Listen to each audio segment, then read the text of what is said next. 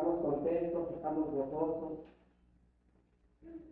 Doy gracias a Dios por todo lo que ha hecho en nuestras vidas, en, nuestro, en este ministerio.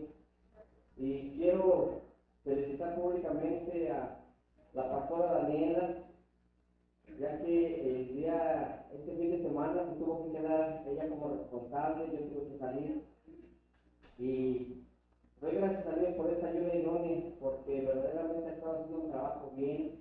Estuvo al frente del programa de la radio, junto con, Paulina. Junto con Paulina. le damos gracias al Señor porque ya el pastor por lo menos comienza a tener un poquito de break, un poquito de descanso y hay, y hay personas que pueden eh, cuidar las espaldas y, y que el, el, ministerio siga, siga caminando. Ese es el propósito. El propósito es que crezcamos, crezcamos poco a poco y que cada quien vaya tomando la posición que le corresponde. Hay muchas cosas que quisiéramos hacer en este santo lugar. Hay alto deseo en mi corazón de que eh, haya un ministerio de valores aquí en, la, en nuestra congregación y, y, sí, como dice Nancy, que haya algo aquí en nuestra congregación es importante, es importante, pero esta iglesia va comenzando, aunque ya tiene una trayectoria larga, va comenzando y estamos eh, eh, comenzando desde sus cimientos. Y los cimientos somos nosotros. Tenemos que comenzar a reconstruir esta iglesia tenemos que empezar a reconstruir los ministerios que debían de, de, haber aquí. Hace falta el ministerio de los jóvenes, el ministerio de los niños, el ministerio de los varones, el ministerio de las damas. Todos los ministerios son importantes, porque todos somos un cuerpo en Cristo Jesús. El fin de semana estuve, estuve por allá por el, eh, González. Eh, yo estoy como presidente de la Convención Hispana del Suroeste a nivel nacional de los varones y me tocó hacer esta, este, este evento para los varones, pero realmente yo no creo que lo haya preparado yo. Yo creo que el que lo preparó fue el Señor para nosotros. Nosotros pasamos un tiempo hermoso, un tiempo agradable. Dios quiera y nos permita que el año que entra vayan más personas de esta amada congregación.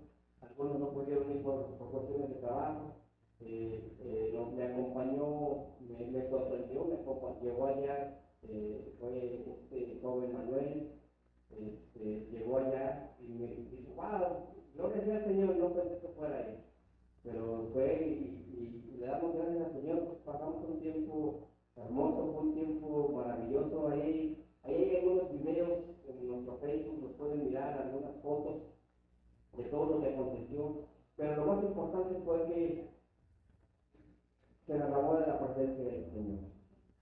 El, el, todo, desde el principio al fin fue algo maravilloso, pero el viernes fue algo que impactó mi vida.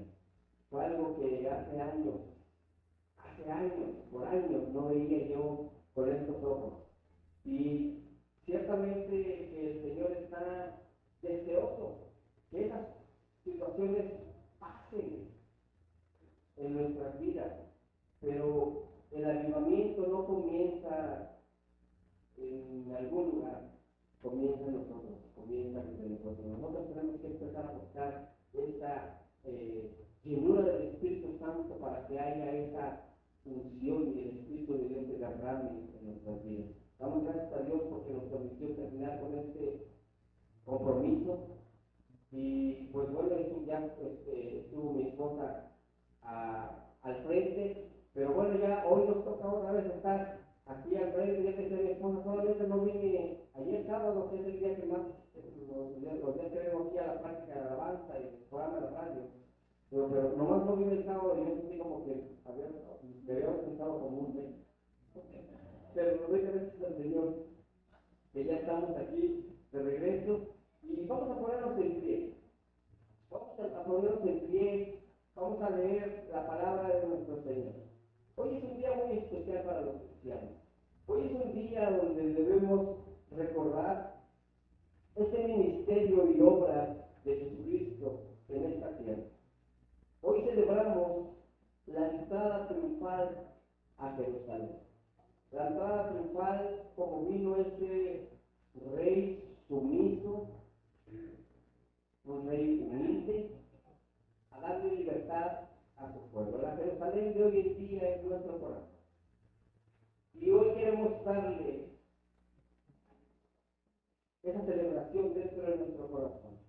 Sé que la gran mayoría de los días estamos aquí, si no es que todos, ya tenemos a Cristo en nuestro corazón y lo estamos viviendo, celebrando. Bueno, hoy va a ser un aniversario más de celebrar esa entrada triunfal a nuestros corazones, a esa nueva Jerusalén. Así que vamos a ponernos en pie en el libro, vamos a ver la escritura del libro de Juan. Libro de Juan, capítulo 12, del verso 12 al 15.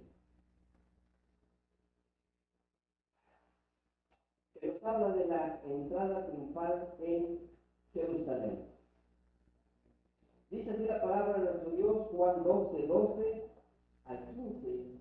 Dice, el siguiente día, grandes multitudes que habían venido a la fiesta, al oír que Jesús venía a Jerusalén, tomaron palmas de palmera y salieron a recibirle y clamaban, Osana, bendito el que viene en el nombre del Señor, el Rey de Israel. Y halló Jesús un asnillo y montó sobre él, como está escrito, no temas, hija de Sión, he aquí que tu rey viene montado sobre un pollino de asna. Padre, te alabamos, te glorificamos te exaltamos. Porque tú no viniste, Señor, a conquistar imperios, tú no viniste, Señor, a conquistar ciudades, tú viniste a conquistar corazones, Padre. Y con esa entrada triunfal, Señor, a Jerusalén, nos diste, Señor, una nueva esperanza. Nos diste, Señor, a través de ese sacrificio y muerte en la cruz. Nos permitiste, Señor, tras tu resurrección, tener esa vida eterna, Señor. Y es lo que estamos celebrando el día de hoy. Que tú has entrado a nuestras vidas, a esta nueva Jerusalén que es nuestro corazón. Celebramos que ya por años has entrado, Señor, a nuestras vidas y hoy nos queremos gozar. Pudiéramos estar en algún otro lugar, pudiéramos estar tal vez acostados, descansando. Lo digo de manera personal, estoy cansado. Pero doy gracias a ti, Señor, que me has dado la fuerza para venir a este santo lugar y hacer lo que dice tu escritura. Venid a mí, todos los que estéis cargados y cansados, que yo os haré descansar. Te damos gracias por eso que hiciste por nosotros, ese sacrificio de despojarte de tu trono de gloria y venir a conquistar nuestros corazones y entrar de esa manera triunfal. Y algún día te veremos. Montado en aquel caballo blanco, muestra de autoridad, de dominio, y vendrás y juzgarás.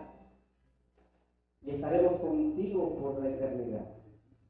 Pero mientras estamos en esta vida, ayúdanos a ser esos mensajeros, esos apóstoles que lleven el mensaje de paz, de salvación, para que haya muchas almas que puedan entrar de manera triunfante a esos corazones.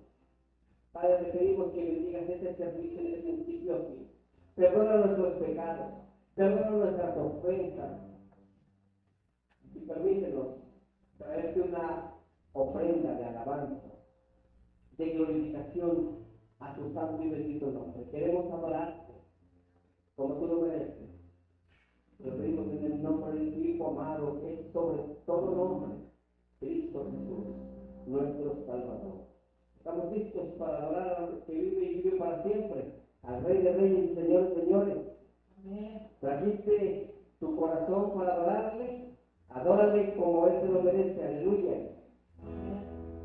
I picture Jesus coming into the city on the donkey. Well, I caminar Jesús llegando to al pueblo uh, en un uh, asno. And how everybody welcomed him. Y como todos le daban la bienvenida. With the palm branches. Con, uh, esta hoja de lifting up their voices saying, Hosanna. Y gritando, Hosanna. And today, I want us to lift up our voice. In worship to Him, amen, to celebrate our King. Hallelujah.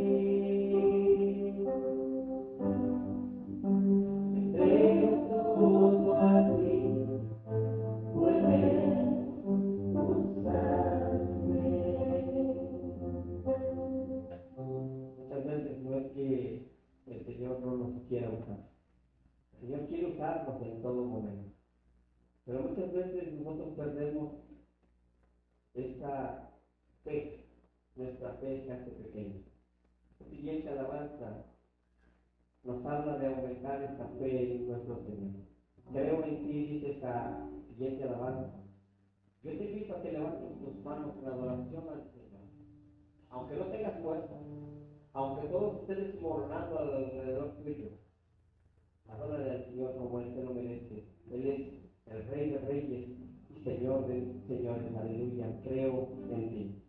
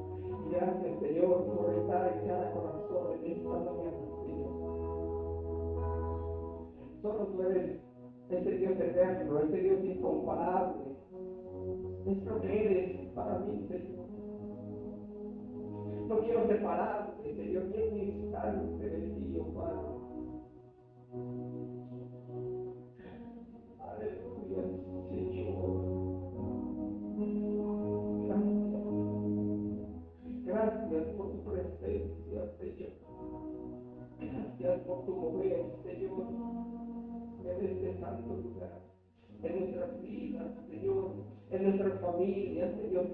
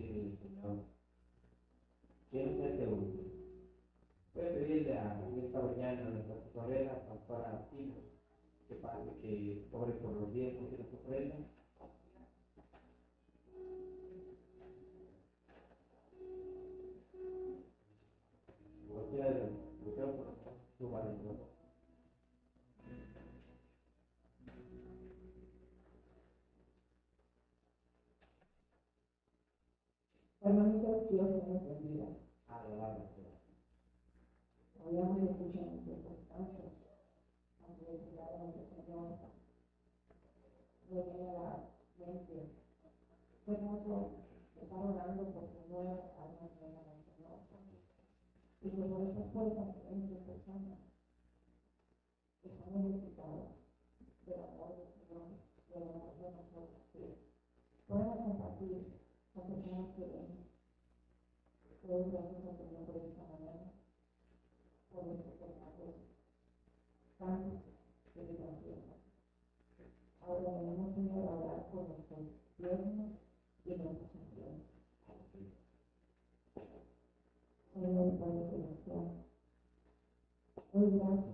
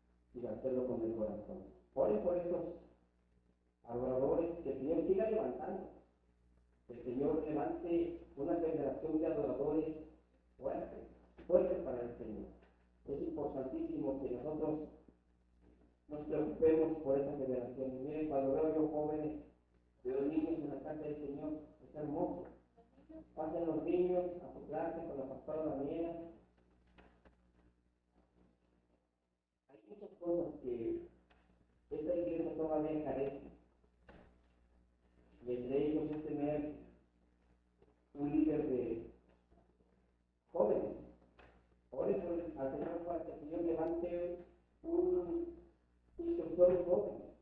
Que el Señor sea poniendo en su corazón el levantarse y decir, yo lo quiero hacer. Si eres de los que vienen a la casa del Señor y dicen, oye, no va a haber clases, oye, no va a haber esto, no va a haber otro, porque no hay quien lo haga, sé tú quien diga, Señor, no hay quien lo haga, yo lo voy a hacer. Yo lo quiero hacer. Yo quiero servirte, Señor. Amén. Vamos a venir a la palabra del Señor. a orar en esta hermosa mañana para que el Señor sea dándome sabiduría, dándome inteligencia y que me dé esa capacidad de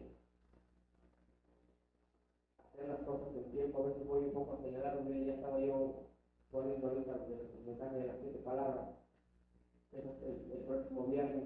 A veces ando muy acelerado en la cabeza, tenemos que tener un poquito más de calma a veces vivimos, no les ha pasado, vivimos la vida para la prisa, que a veces eh, dejamos de hacer lo que estamos haciendo y queremos hacer lo que es para dentro de 15 días, dentro de un mes, y lo que teníamos que hacer para ahorita, ya lo decimos, no, ay, y ahora ya, ya se lo juntó el trabajo, no, yo mismo me lo junto.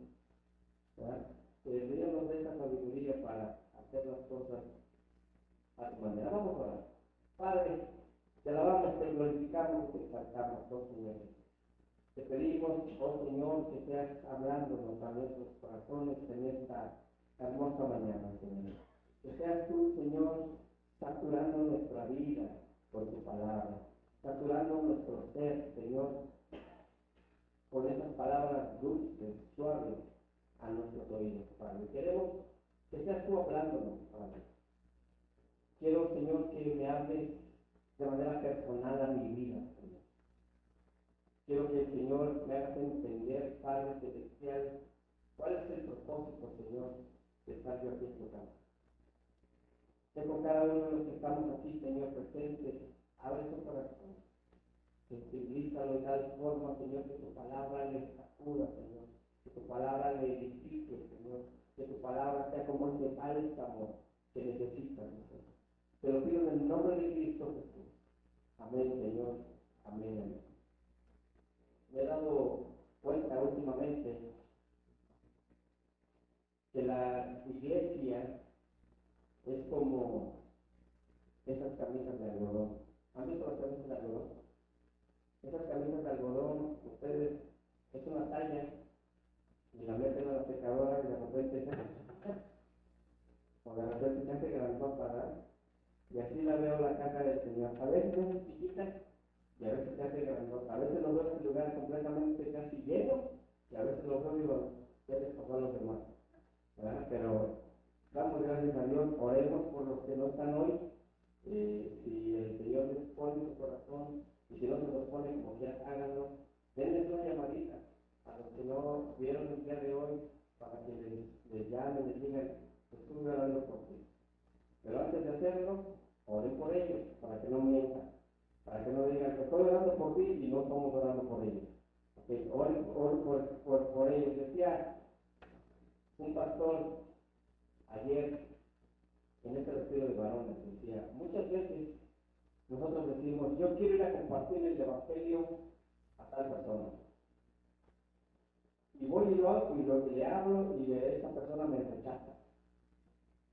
Y nos desanimamos. Que cuando debiéramos de decir, Señor, yo quiero hablar de esa persona, pero sé tú hablándole. Háblale al Señor primero, háblale al Señor primero de esa persona. Ponlo en oración. Para que cuando tú vayas y le hables a esa persona, el Señor ya preparó su corazón y reciba esa palabra. Y es bien importante. Vamos a ir al tema del día de hoy. La entrada triunfal. Todos sabemos que por donde quiera se está celebrando la entrada triunfal, el día de Palmas, como se conoce también en otros lugares. En México se le conoce Domingo de Palmas, Domingo de Ramos. Pero vamos a entender cuál es la verdadera razón de esta entrada triunfal. Porque a veces nos confundimos y nos vamos a la tradición y a lo que dice la palabra del Señor. La historia de la entrada triunfal es uno de los pocos eventos en la vida de Jesús que aparece en los cuatro evangelios. Aparece en Mateo, capítulo 21, versos 1 al 17. También aparece en Marcos, capítulo 1, versos, capítulo 11, perdón, versos 1 al 11. También aparece en Lucas. En Lucas se encuentra en, en el capítulo 19, en los versos 28 al 40. Y aparece también en el libro de Juan, capítulo 12, versos 12 al 19, que abrimos esta mañana con el, el capítulo este de Juan, pero solamente lo leímos hasta el versículo 15. Reuniendo los cuatro relatos de la entrada triunfal, es evidente que esta entrada triunfal fue un acontecimiento importantísimo. No solo para personas en los tiempos de Jesús, sino para los cristianos a lo largo de la historia. Sigue siendo algo importante. Celebramos el Domingo de Ramos para recordar esta ocasión que trasciende en nuestras vidas. Vayamos al pasaje central, yo voy a enfocar en el libro de Mateo. Mateo, en el capítulo 21, verso 1 al 9. De los cuatro evangelios, el Señor me llama para enfocarme en el de Mateo. Yo lo voy a leer en la versión Dios habla hoy. Jesús entra a Jerusalén. Dice así la palabra de nuestro Señor. Cuando ya estaban cerca de Jerusalén y había llegado a al monte de los olivos, Jesús envió a dos de sus discípulos diciéndoles, vayan a la aldea que está enfrente, allí encontrarán una burra atada y un burrito en ella, con ella. Descátenla y tráiganla. Así que, y si alguien les dice algo, díganle que el Señor lo necesita y que enseguida lo devolverá. Esto sucedió para que se cumpliera lo que dijo el profeta cuando escribió digan a la ciudad de Sion, mira tu rey viene aquí humilde, montado en un burro, en un burrito, cría de una bestia de carga. Los discípulos fueron e hicieron lo que Jesús les había mandado. Llevaron a la burra y su cría y echaron sus capas encima de ellos y Jesús montó. Había mucha gente. Unos tendían sus capas por el camino y otros tendían ramas que cortaban de los árboles. Y tan, tanto los que iban delante como los que iban detrás gritaban, Osana al Hijo de David. Bendito el que viene en el nombre del Señor. Osana en las alturas. Alabado sea el Señor. Me quise enfocar en este pasaje para que no hubiera confusión. Tengo una anécdota que contar. Muchos de aquí conocen a mi hermana Jamie. Jamie cuando recién llegó a este santo lugar tiene años que nos conocemos. Ella escuchó la predicación acerca de la entrada triunfal, pero una versión dice que entró Jesús a Jerusalén montado en un pollino. Mi hermana Jamie decía, me dice cuando salimos, brother, porque la Biblia lo dice, lo creo, pero qué milagroso Jesucristo, ¿no? Digo, ¿por qué, mi hermano? Mira que a veces como montado en un pollito, de haber entrado en en un pollito Jesucristo. No es un pollito. Dijo, sí, un pollito, sí, pero es un, pollito, es un burrito no montado. ¿Verdad? Por eso es importante que a veces, que Dios le bendiga mi donde quiera que se encuentre, le amo con todo mi corazón. Pero a veces, cuando somos recién convertidos, eh, no entendemos las palabras porque son un poquito confusas para nosotros. Entonces, por eso, debido también a esa, esa anécdota, quise enfocarme en el libro de, de Mateo y en, una versión un poquito más actualizada para que lo entendieran. Ese día, Jesús entró en Jerusalén sentado sobre un pollino, sobre un burrito, al cual ningún hombre había montado. Los discípulos extendieron sus manos, dice la escritura, sobre el asno para que Jesús se sentara. Y las multitudes salieron a darle la bienvenida, teniendo sus mantos delante de él, al igual que ramas de, los árboles. Hay, hay personas que dicen que son palmeras, hay personas que dicen que son hojas de palma, es, diferente la palmera de, la hoja de palma. Pero en realidad no, no, no importa de qué árbol era. Lo importante era lo que hacían, la acción que hacían para con Las personas lo aplaudían y lo adoraban como el rey que viene en el nombre de- del Señor, así dice la Escritura. Mientras se dirigía hasta el templo, donde les enseñó a la gente, donde les había sanado, donde había echado fuera también a los cambistas, a los comerciantes que habían hecho de la casa de su padre una cueva de ladrones. El propósito de Jesús es desplazarse ahora hacia Jerusalén para hacer pública su declaración de ser el Mesías y el Rey de Israel. En cumplimiento a la profecía del Antiguo Testamento. Mateo dice que el rey que viene sobre un asno fue cumplimiento exacto del profeta Zacarías. Zacarías 9:9 que dice, alégrate mucho, hija de Sión. Da voces de júbilo, hija de Jerusalén. He aquí tu rey vendrá a ti, justo y salvador, humilde y cabalgando sobre un asno, sobre un pollino, hijo de asna. Jesús había, iba, perdón, en un asno hacia la ciudad capital, como un rey victorioso, y es aclamado por el pueblo como era la costumbre.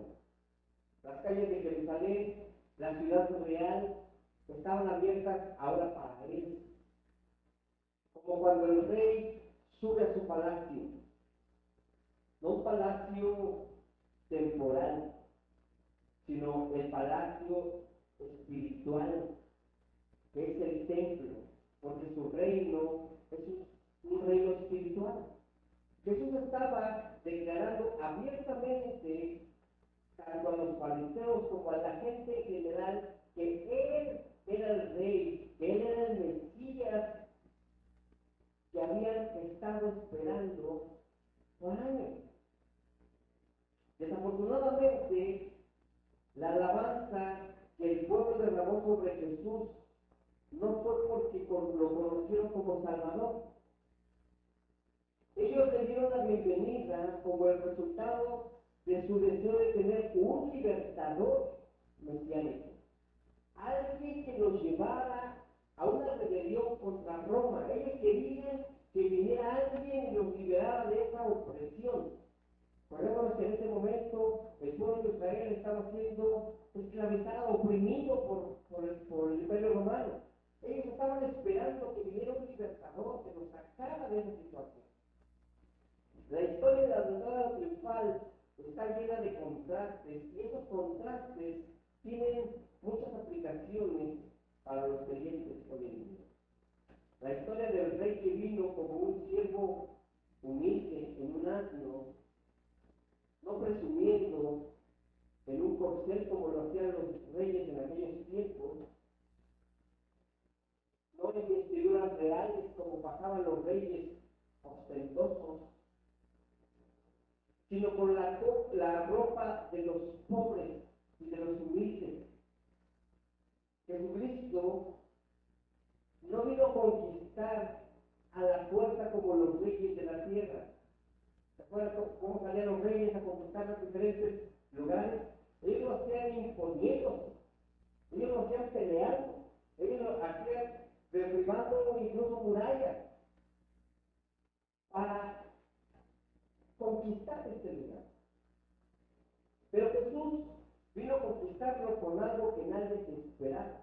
Jesús vino a conquistarlo con amor, vino a conquistarlo con gracia, vino a, conquistarlo con misericordia y su propio sacrificio en favor de su pueblo.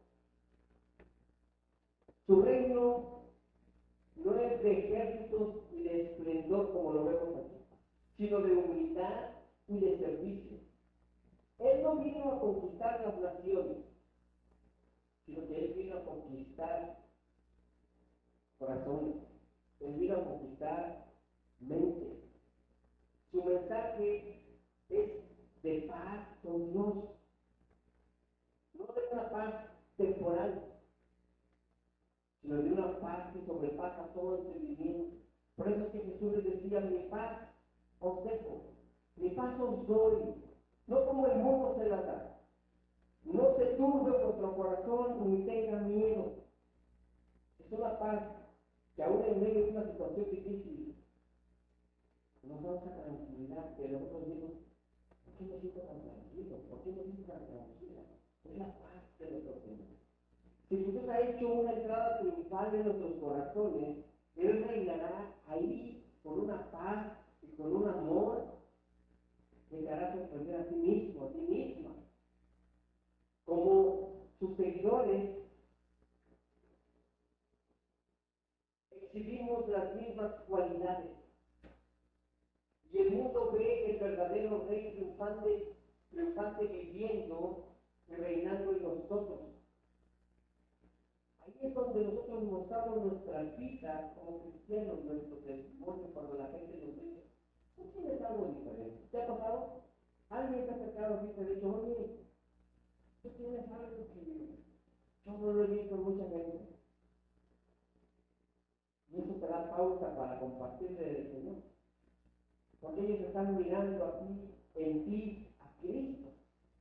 Para que podamos entender, vamos a meternos de lleno en el contexto de lo, primero que tienes que entender y saber es que en esa época el pueblo de Israel, es decir, el pueblo escogido de Dios, uno no era libre, sino que se encontraba bajo la opresión del imperio romano. Gracias por eso.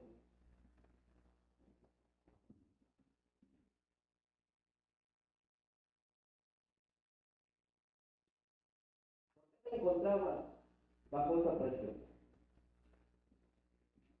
Les cobraban impuestos y en consecuencia ellos vivían en una situación social y, económica muy penosa. Porque sucede lo que hoy en día sucede en muchos países. En México es uno de ellos. En México hay que vivir allá, es difícil vivir en la Ciudad de México o porque se vive para pagarle al gobierno y para pagarle al cartel para que no te daño. Claro, sabe, sabe de eso. Allá en México es vivir. En otros países es igual, en Salvador me imagino que es igual. Vives para pagarle al gobierno y vives para pagarle al cartel para que no te hagan daño y puedas vivir tranquilo. Así está el, el- el pueblo de Israel en esos momentos.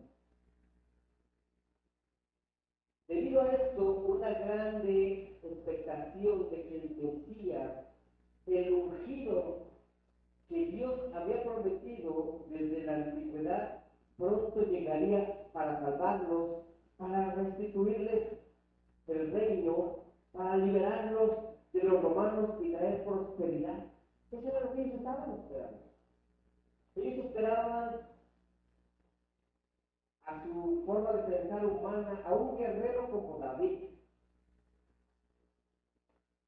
Pero lo que menos iban a imaginar es que en realidad el enviado del cielo, el Hijo de Dios, no había venido a esta tierra para establecerse a través de guerra, un reino temporal, sino que vino como un príncipe de paz, dice la Escritura, para conquistar la libertad más importante jamás imaginada en la historia humana, la del alma, y establecer en los corazones un reino eterno. La profecía mesiánica que había dado, que habían dado en el Antiguo Testamento el profeta Isaías, se estaba cumpliendo en el nacimiento de Cristo y hasta su muerte. Miren lo que dice Isaías. Isaías 9, capítulo, versos 6 y 7. Dice, porque un niño nos es nacido, hijo nos es dado, el principado sobre su hombro y se llamará su nombre admirable, consejero, Dios fuerte, Padre eterno, príncipe de paz. Lo dilatado de su imperio y la paz, y la paz no tendrá límite. Sobre el trono de David y sobre su reino, disponiéndolo todo y confirmándolo en juicio y en justicia desde ahora y para siempre. El celo de Jehová de los ejércitos, dice la escritura, hará esto. La triste realidad era que el rey tan anhelado ya estaba entre ellos, pero ellos no lo habían reconocido. No habían entendido el gran momento que estaban viviendo, el tiempo en el cual el reino de los cielos se había acercado. Y de hecho este fue el mensaje contundente de Cristo desde su inicio del ministerio. Mateo 4:17 dice, entonces comenzó Jesús a predicar y a decir, arrepentíos, porque el reino de los cielos se ha acercado. Cristo era el rey que traía una buena noticia, la cual era que todos los que se encontraban en una situación de esclavitud y de muerte espiritual por causa del pecado, si lo reconocían como su Salvador, aceptando el sacrificio que él había de hacer en la cruz, arrepintiéndose de corazón por todos sus pecados de su pasado, habrían de obtener una nueva oportunidad, un nuevo nacimiento, y entrarían a formar parte de un reino siendo trasladados del reino de las tinieblas a la luz admirable. ¿Se acuerdan lo que estamos viendo en, el, libro de Juan? Estamos estudiando el libro de Juan hace dos semanas, tocamos exactamente esto. Jesús les habla de la luz y las tinieblas, pero se transporta a explicárselos en el pastor y las ovejas. De esto estamos hablando también justamente con Juan. El mensaje era muy simple, era comprensible para todo tipo de personas. Es decir, que hasta el menos erudito podía entender el mensaje. Ahora, regresando al pasaje central de la entrada triunfal, las cosas estaban así. Unos días antes de este acontecimiento, Jesús había hecho uno de los milagros más impactantes de su ministerio. ¿Se acuerdan de ese milagro que hizo uno de los más impactantes de su ministerio? La resurrección de su amigo Lázaro. ¿Se acuerdan? El cual llevaba nada más y nada menos que cuatro días ya muerto. Es más, dice la escritura que ya olía mal. Mientras éste se encontraba en el sepulcro, ya en estado de descomposición, Jesús, llorando, ordenó que quitaran la piedra. Llamándolo afuera lo resucitó. Este milagro fue hecho en la presencia de, la, de multitudes que habían ido a consolar a la familia de Lázaro. ¿Se que había ido, ido mucha gente? El único que no había llegado era Jesús. Jesús lo habían mandado llamar, pero Jesús no había llegado. Y había muchos ahí. Así que Jesús hizo este milagro en esa multitud. Ya te puedes imaginar cómo el tremendo acontecimiento se convirtió en el tema de conversación en el pueblo. Cinco días antes de la Pascua, todo el mundo hablaba de ese testimonio, de ese milagro, de la resurrección de Lázaro. La mayoría, la mayor eh, fiesta de las judías donde celebraban la salida de Egipto guiada por Moisés después de los 400 años de esclavitud y también el momento en el cual Jesús habría de ser crucificado. La Biblia dice que Jesús se encontraba en Betania, donde vivía Lázaro con su familia.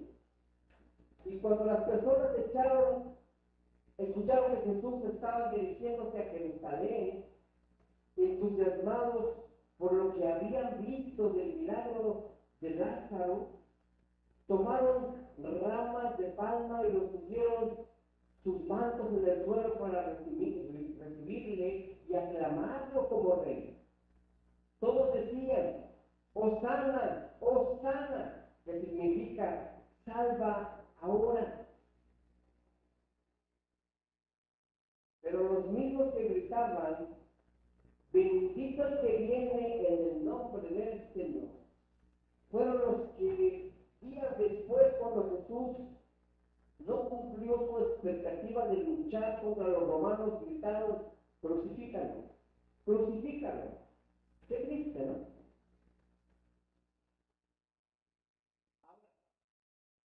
Veamos por qué se llama entrada triunfal. La palabra triunfal significa, en un modo victorioso y entusiástico. El triunfo era un, un momento espectacular que celebraba, se celebraba en la antigua Roma para honrar al general que regresaba victorioso con su ejército de alguna guerra ganada en tierras extranjeras. Ese era el símbolo. El espectáculo consistía en un desfile militar donde los soldados desfilaban sentados cantando canciones y bebiendo, moviendo palmas. Era un recibimiento espectacular. A lo largo de todo el recorrido, la gente se agolpaba para contemplar desfile y arrojar flores al paso del cortejo, cualquier cosa que era en forma de agradecimiento por haber tenido esa conquista, esa victoria de esa guerra. Lo más espectacular era también que se llevaban muestras del botín, de lo que habían obtenido de esa guerra, lo que habían tomado. Y se exponían muy públicamente a los reyes. ¿Se acuerdan? Muchos de ellos regresaban no solamente con tesoros, regresaban con los rehenes y los, los exhibían para que todo el mundo los mirara. Y así hacían un- una gran celebración. Ahora me preguntarás, bueno, ¿y esto qué tiene que ver con Cristo? Porque en realidad su entrada fue hecha en una forma muy humilde, en un burrito, dice la escritura. ¿Qué victoria estaba celebrando Jesucristo? Porque si vemos ese era el ejemplo que tenían eh, en, en aquellos tiempos los romanos de venir y celebrar una victoria y entraban por la entrada principal a Jerusalén, ¿qué estaba celebrando Jesucristo? Lo que Jesús en realidad estaba haciendo era una declaración pública de que Él era el Mesías que tanto habían esperado. Pero no solo esto. En el mundo espiritual, Él estaba celebrando una gloriosa victoria que habría de tener en la cruz. Para que comprendas mejor lo que estoy diciendo, quiero que leas junto conmigo los versículos en el libro de Colosenses, capítulo 2. Capítulo 2, versos 13 y 15. Para que entendamos qué era lo que estaba celebrando Jesucristo.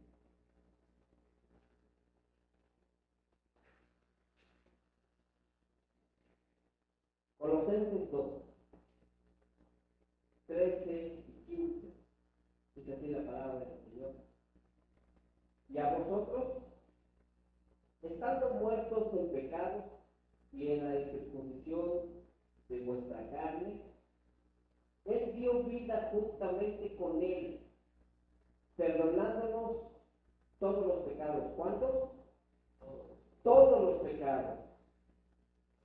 Él anuló el acta de decreto que había contra nosotros. Hay un ju- juicio contra nosotros. Él la anuló, la aniquiló. Que nos era contraria y la quitó de en medio, clavándola en la cruz. Alabado sea el Señor. Y despojó a los principados y a las autoridades y los exhibió públicamente triunfando sobre ellos en la cruz. ¿Qué no era la, la costumbre que se en, en aquellos tiempos? No traían a sus enemigos exhibiéndolos. ¿Ven la comparación que estaba haciendo Jesucristo, pero de forma pasiva? Mira, desde el inicio de la creación, Dios había dado autoridad al hombre para someter, para gobernar, para dirigir la tierra. Pero cuando pecamos, la perdimos. Y se la cedimos al enemigo de Dios, que no se lo conoce. Y no solo esto, sino que el pecado nos alejó, nos separó de Dios y nos encarceló en la condenación. Estábamos siendo esclavos. Roma estaba siendo esclavo en ese momento. Por eso es que Jesucristo lo hace de esta manera. Una vez más nos estaba diciendo una parábola con sus propios actos, para que lo entendiéramos. Él estaba celebrando de manera triunfal, eso es la triunfal. Él estaba celebrando la victoria que tendría al ser llevado a esa cruz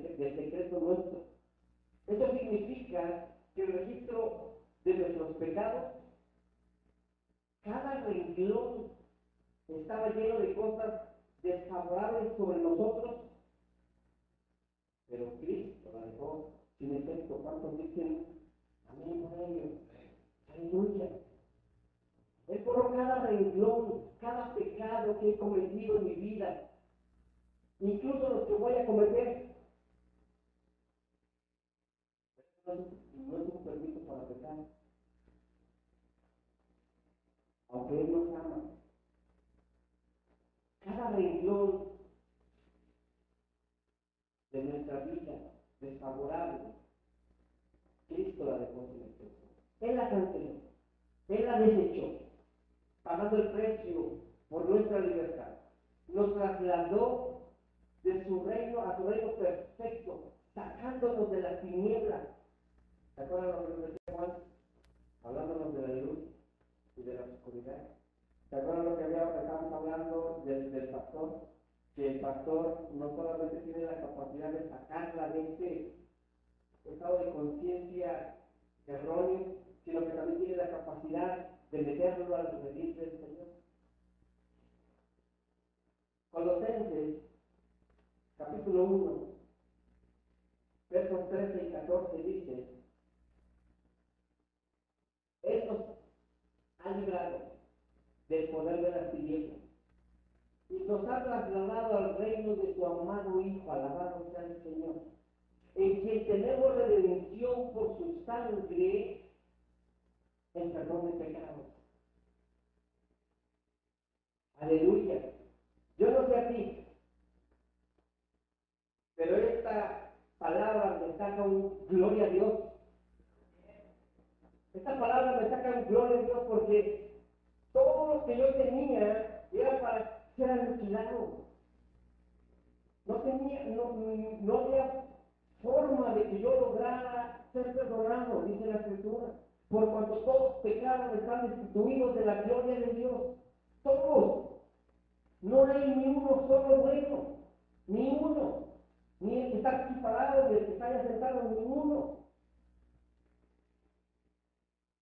Pero dice, Él nos ha librado del poder de las tinieblas y nos ha trasladado del- al, al reino de su amado Hijo, en quien tenemos redención por nuestras obras, no, por la sangre de Cristo, por la sangre de Cristo que tenemos perdón de nuestros pecados. Aleluya. ¿Saben por qué? Porque venció con creces a los mayores enemigos del hombre. Venció al diablo, venció la muerte venció el pecado. Los desarmó, los destronó, los derrotó y no solamente eso, sino que los avergonzó públicamente, les quitó la autoridad y nos la devolvió a nosotros, aleluya. Esa autoridad que Satanás nos quitó allá en Adán y Eva, Cristo vino y se las arrebató y nos las volvió a entregar a nosotros, alabado sea el Señor. Miren lo que dice Apocalipsis, capítulo 1, versos 17 y 18. Apocalipsis 1, 17 y 18 dice, pero él, poniendo su mano derecha sobre mí, me dijo, no tengas miedo, yo soy el primero y el último, y el que vive, estuve muerto, pero ahora vivo para siempre. Yo tengo las llaves del reino de la muerte, aleluya, aleluya. Ya no voy a ver muerte espiritual. Estoy en una vida terrenal aquí. Tengo muchas luchas con mi carne. Pero va a llegar un día que se va a terminar. Va a llegar un día que voy a, tener que dejar de luchar con la carne. Y eso lo estoy esperando con ansia. Va a llegar el momento en que mi vida ya no va a experimentar esa muerte espiritual. Ahora corremos ese riesgo. Si nos alejamos tanto del Señor, podemos correr ese riesgo de morir espiritualmente.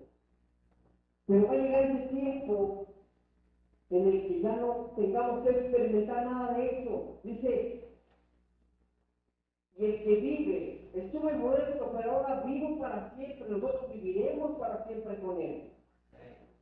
Yo tengo las llaves del reino de la muerte, aleluya. Ya no nos va a poder esclavizar, nada. ¿Qué nos va a separar del amor de Dios? Muerte, angustia, persecución, nada. Nada nos puede separar del amor de Dios. Ahora, gracias a Él, la muerte no tiene más dominio sobre nosotros. Mi madre dejó de existir en esta tierra, pero está viva. Para la honra y gloria del Señor. Y un día nosotros estaremos en, este, en esa etapa. Romanos 8, 9. Nos da esa paz para los que ya dejaron de estar en esta tierra con nosotros, para los que amamos. Dice, y si morimos con Cristo, creemos también que viviremos con Él, aleluya. Y sabemos que Cristo, habiendo resucitado de los muertos, ya no muere. La muerte no se enseñoreará más de Él. Aleluya. Ya Cristo ganó la batalla por la cual nosotros ahora debemos solo disfrutar de su victoria. Estamos peleando una batalla ya ganada. Qué sencillo, qué fácil. Esta batalla ya la ganó Jesucristo. Ahora, es muy importante comprender que esta realidad y victoria espiritual se activa, se activa solamente en la vida de los que aceptan a Jesús como su único suficiente Salvador. Tenía una plática con un familiar mío en México. Él me decía, no tío, estás mal. Yo también soy hijo de Dios. Él me creó. Le digo, todos somos creación de Dios, hijo. Pero no todos somos hijos de Dios. ¿Me lo puedes explicar? Claro que sí. Es la palabra de Dios, más los que creyeron en Él y lo aceptaron, les dio potestad de ser llamados hijos de Dios. Si lees un poquito más adelante en la Biblia, nos dice que Jesús también fue al templo para purificarlo, porque estaba lleno de ladrones gente que se ponía a comprar y vender ahí en vez de respetarlo como el lugar de intimidad y de oración con Dios. Esto es de suma importante, mi, amado, mi, mi amada hermana. Porque si no lo sabes, dice la palabra de Dios en 1 Corintios 6, 19, es importante que entendamos esto que el Señor Jesús estaba haciendo y por eso lo menciono. Él fue y sacó a los para purificar el templo, la casa de su padre. Pero en primera de Corintios, Pablo nos dice en referencia a nosotros. Primera de Corintios 6, 19 dice, en nuestro propio cuerpo es el templo o casa del Espíritu Santo. Mira, Dios anhela celosamente y con todas sus fuerzas el corazón del hombre. Él está cansado de ver a sus hijos sufrir y ponerse en manos de un enemigo que lo único que quiere es destruirlo, para que Jesús nunca, pero Jesús nunca va a poder entrar en tu vida si no le das permiso de hacerlo.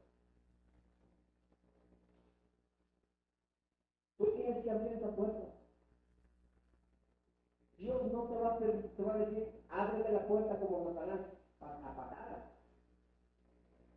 Satanás forza la entrada, te obliga a hacer lo malo.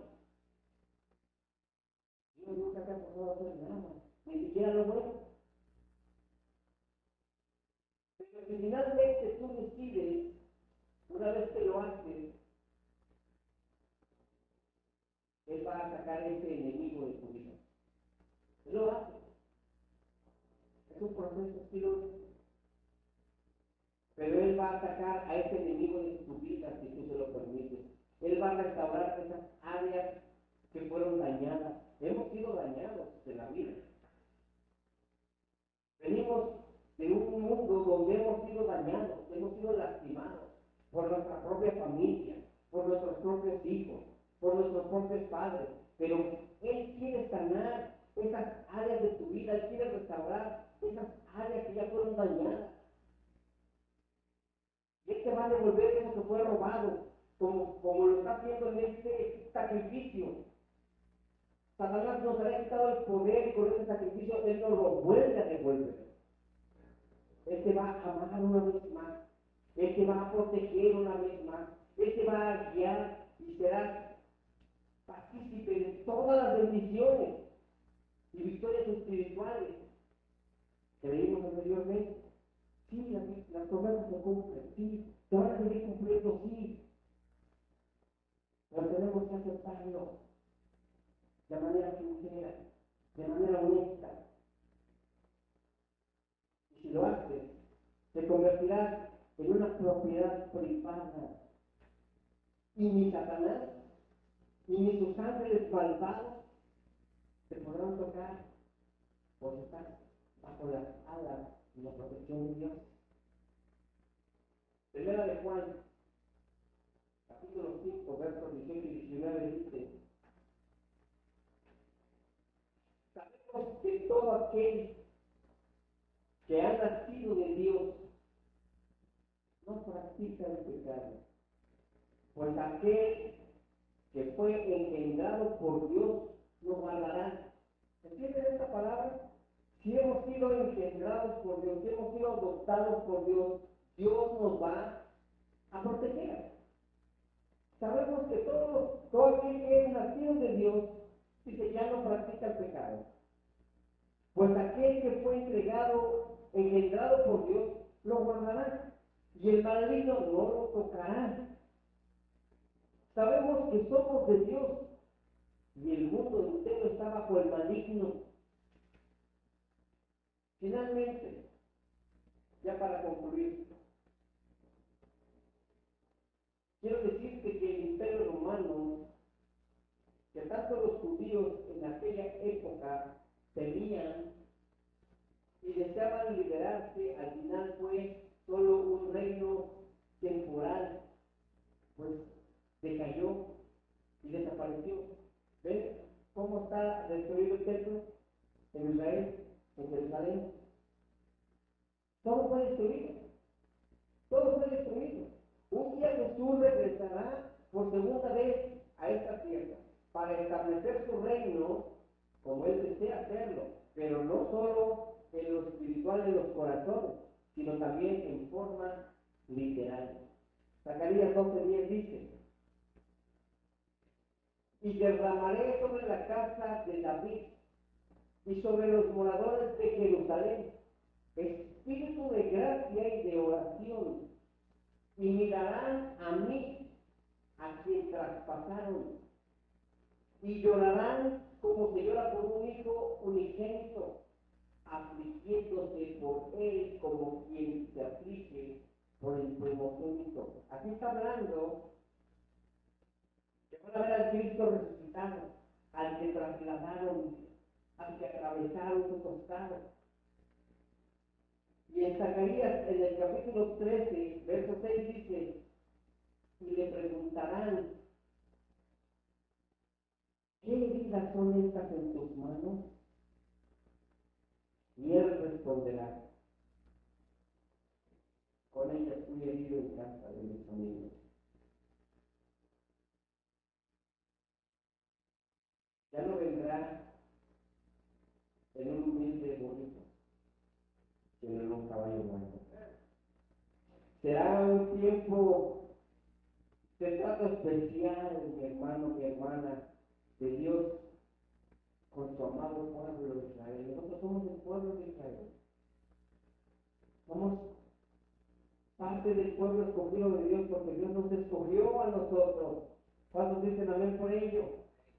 Pues ellos entenderán que aquel que fue crucificado, que fue despreciado, que fue humillado, y traspasado con aquella lanza en la cruz, era el Salvador, es el Salvador. Es mucho lo que hizo por ti, es mucho lo que hizo por mí. No creo que tengas palabras para describirlo. No las tengo.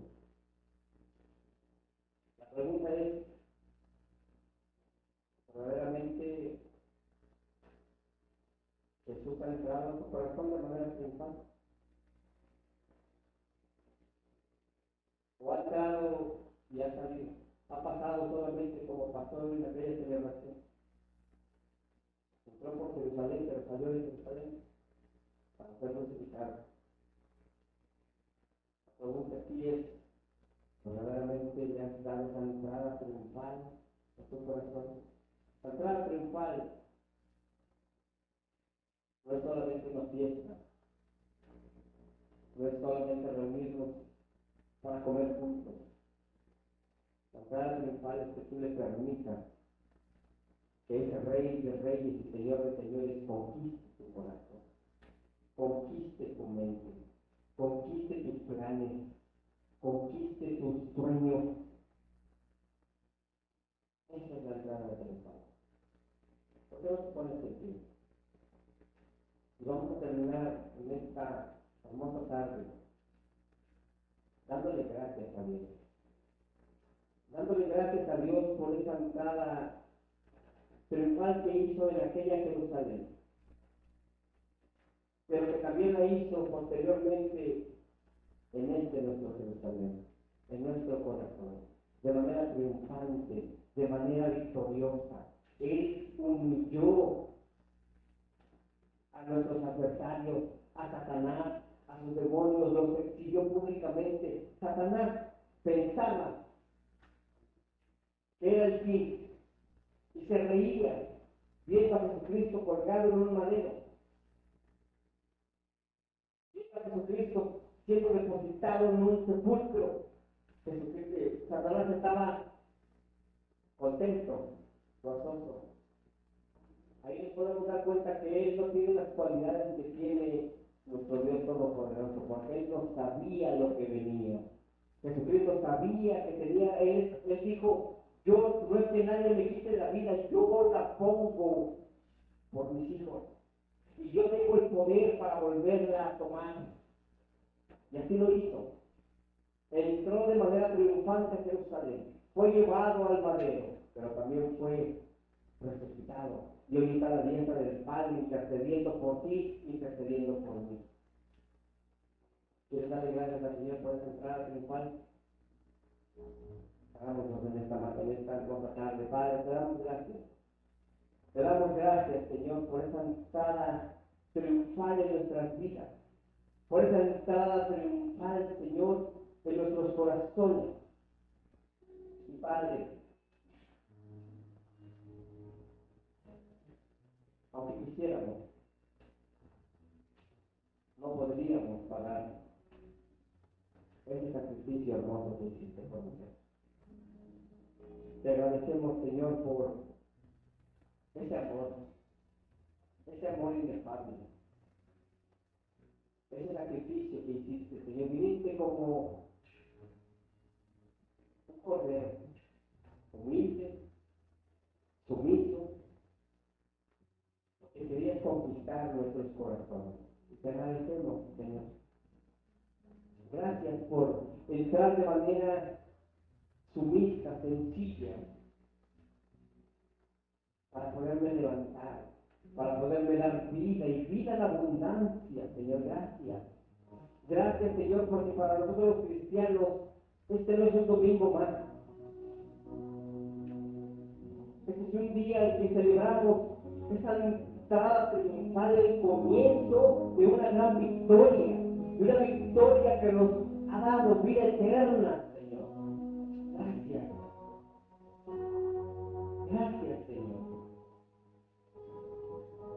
Permite, Señor, que este mensaje de esta palabra, Señor, cautive cada corazón.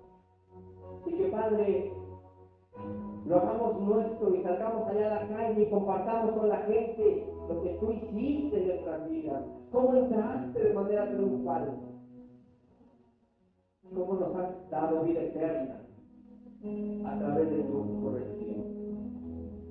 Gracias, Padre. Señor. Te alabamos, Señor, te bendecimos. Bendice tu pueblo, Señor. Conforta cada corazón, Señor. Y danos la fuerza, Señor, para tener la victoria en nuestras luchas diarias, Señor. Hay cosas que todavía, Señor, nos están esclavizando, Señor, lo reconozco, Señor. De manera personal, tengo muchas.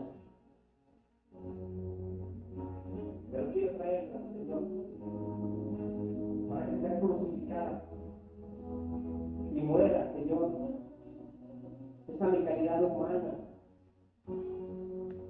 Pueda disfrutar en plenitud, Señor, lo que tú me has devuelto, esa libertad, esa autoridad.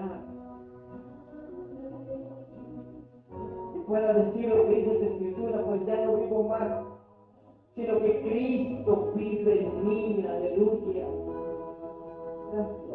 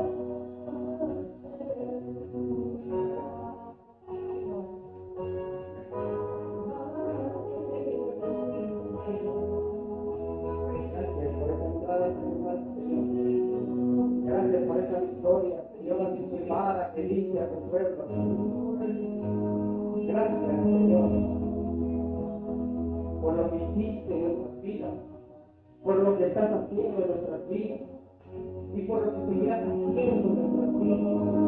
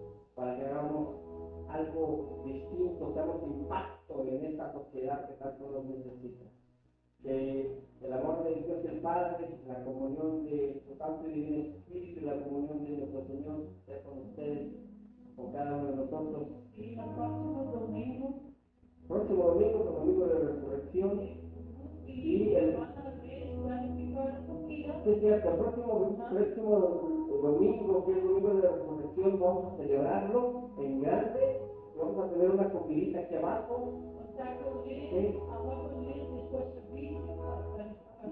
Y, el miércoles también tenemos nuestro estudio bíblico a las 7 de la noche. El sábado, acuérdense de seguirnos a través de la radio a las 11.30, a las 2 de la tarde.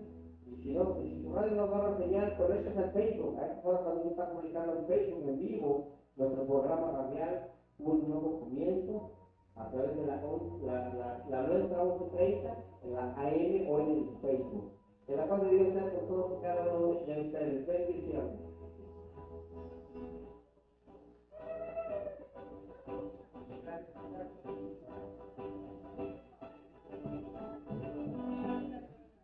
Gracias.